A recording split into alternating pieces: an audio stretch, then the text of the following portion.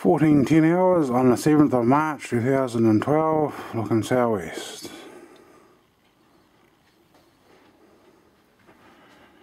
Westerly